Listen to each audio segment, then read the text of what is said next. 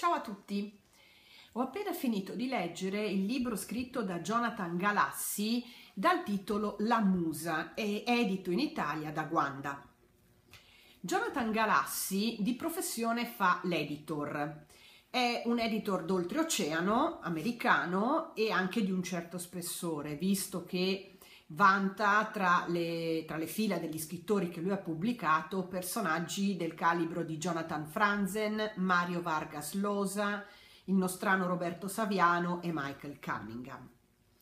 E con questo libro Jonathan Galassi sperimenta la posizione dello scrittore,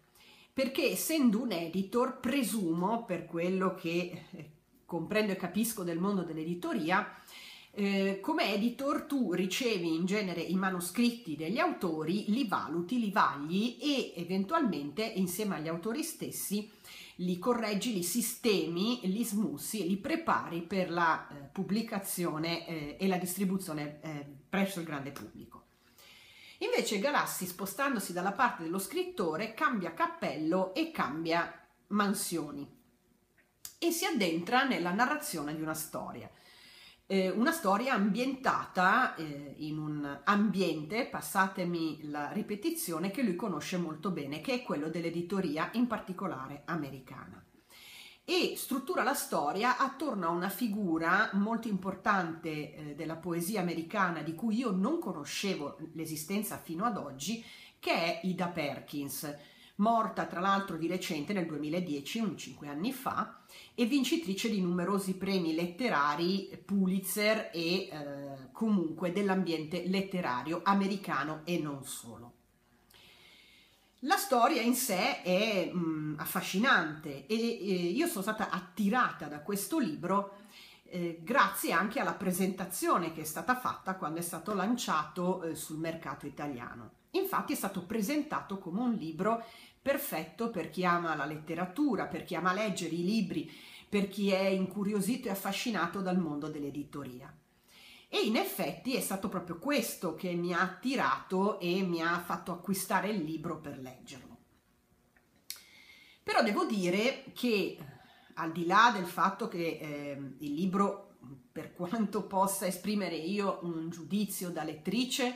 è molto ben fatto ed è molto interessante, secondo me soffre un po' della formazione, della, del background professionale del, dello stesso Galassi, che in qualità di editor eh, rivela, secondo me, alcune macchinosità che grippano un pochino la fluidità narrativa del romanzo. Perché il romanzo, eh, nella prima parte, io ho fatto un po' fatica a, ad accettarlo, assimilarlo e a farmi trascinare dalla storia perché ha un andamento lento, de- eh, ogni tanto intercalato da un proliferare di dettagli, anche storici, di nomi, di luoghi, di persone, della, dell'ambiente letterario americano che se non sei un profondo conoscitore ti può fare perdere anche il filo della storia, ti può fare smarrire in mezzo a una serie di dati e di, e di citazioni per poi arrivare al 60-70% dell'avanzamento del libro dove subisce un'improvvisa accelerata e la storia comincia a scorrere, diventando anche a tratti molto veloce e, ehm, andando, e ehm, raggiunge, diciamo, chiudendo anche dei capitoli in maniera un po' affrettata.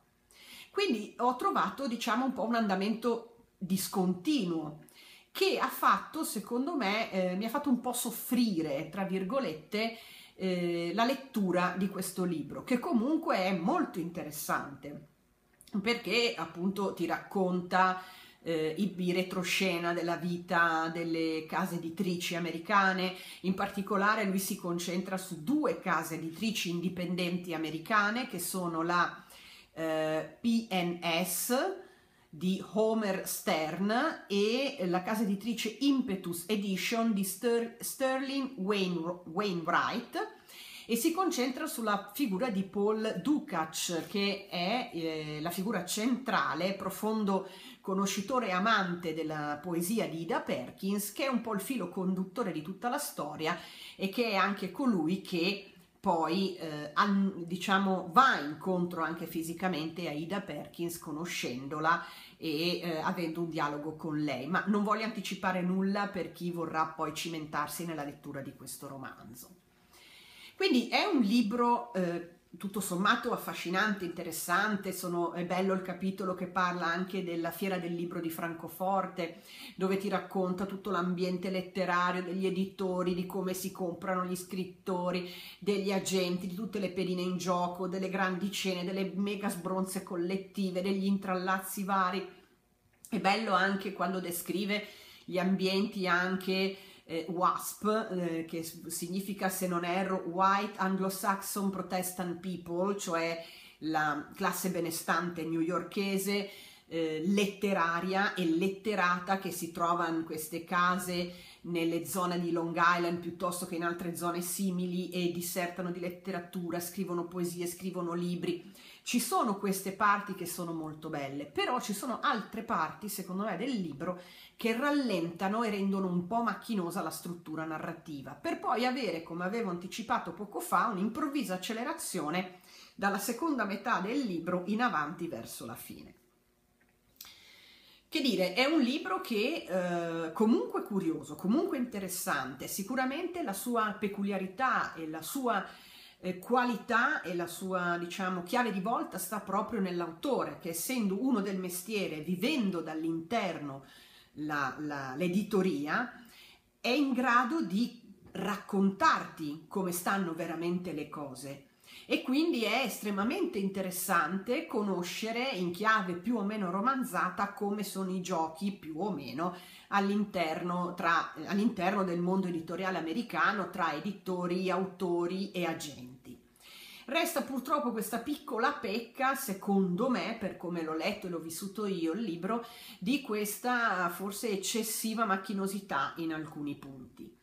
Io a questo punto sono curiosa di eh, vedere se pubblicherà altri libri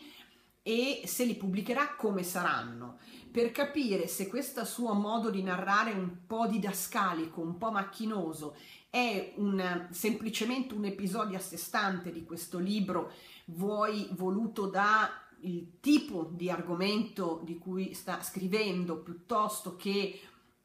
da altre esigenze o perché è il suo primo libro come romanziere, oppure se è effettivamente una sua caratteristica di scrittura, una sua caratteristica narrativa. Quindi se volete leggere un libro che entra nel mondo dell'editoria anche con una certa fedeltà e una certa mh, cronaca, diciamo, veritiera, la musa di Jonathan Galassi, ripeto, edito da Guanda in, in italiano, è una buona occasione anche per farsi un po' una panoramica di eh, tutte le figure, eh, alcune perlomeno figure principali della letteratura americana contemporanea e tra l'altro il libro chiude anche con una piccola bibliografia che può essere utile sia delle poesie di Ida Perkins sia di altre pubblicazioni collegate all'opera di Ida Perkins che ti fanno capire primo che, quello, che i personaggi coinvolti sono reali e secondo ti consentono di andare ad approfondire eh, l'argomento se gradisci e se vuoi andare a capire e a conoscere di più di un certo tipo di letteratura d'oltreoceano. Io mi fermo qui e ci vediamo alla prossima video riflessione con un altro libro. Ciao a tutti e a presto!